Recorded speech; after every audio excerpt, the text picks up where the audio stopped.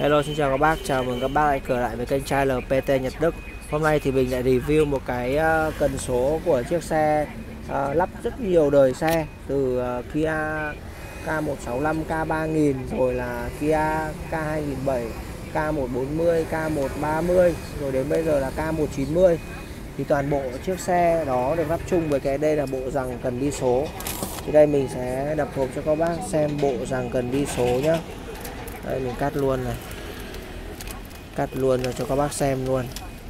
À, mình cũng nói với các bác rồi là hiện tại phụ tùng ô tô thì có đến hàng nghìn nghìn chi tiết. Thế nên thành ra là mình không thể upload một ngày hết được mỗi một ngày mình upload dần dần hai ba sản phẩm. Đấy đúng sản phẩm của bác nào thì bác đấy sẽ comment và bác nào mà cần mình ờ, tư vấn về sản phẩm gì thì ờ, mình sẽ làm review về sản phẩm đó. Đó thành ra là mình không biết là sản phẩm gì các bác cần. Thế nên mình có phát óp dần dần úp lên dần dần, bác nào mà à, đúng sản phẩm nào mà cần hỏi giá hay BM hỏi mình thì cứ BM cho mình nhá, cũng như là nhắn tin cho mình.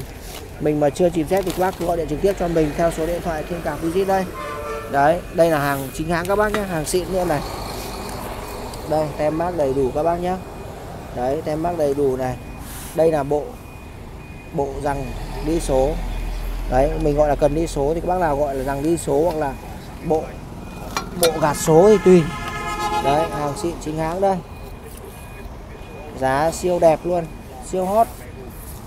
Đấy, giá siêu đẹp, siêu hot này. Đây, mình sẽ quay cho các bác xem nhé đây là hàng mới xịn 100% nhập khẩu của Kia. Hàng xịn. Kia xịn chính hãng luôn. Đấy, nhiều bác là sẽ bị dơ cái cần này này. Chạy bao nhiêu năm rồi thì nó sẽ bị dơ cái cần này. Đấy dơ cần này thì nhiều bác thì ép lại bạc rồi, cũng như làm một số những cái tác động ở bên ngoài nhưng mà nó không được bền. Thì theo khuyên, mình khuyên các bác là các bác lên thay đi các bạn nó rẻ, nó cũng không đáng đâu. Rất là rẻ luôn, nhìn này thôi, nhưng rất là rẻ. Cái tiền các bác đi chế thì cũng bằng tiền các bác mua một cần mới. Đấy. Hàng xịn chính hãng luôn các bác nhé đây, hộp đỏ chét đây. Nhập khẩu đây. Đây đây gần đi số để đây cho các bác ngắm cho cho nó căng nét luôn. Đấy. Hàng xịn luôn này. Đây nha các bác nhé mình quay cho các bác xịn xịn luôn này đấy đây màng bát đây đầy đủ mặt trước mặt sau đây. Đấy. Yes đấy. Mình thì có một tiêu chí là phục vụ hết mình.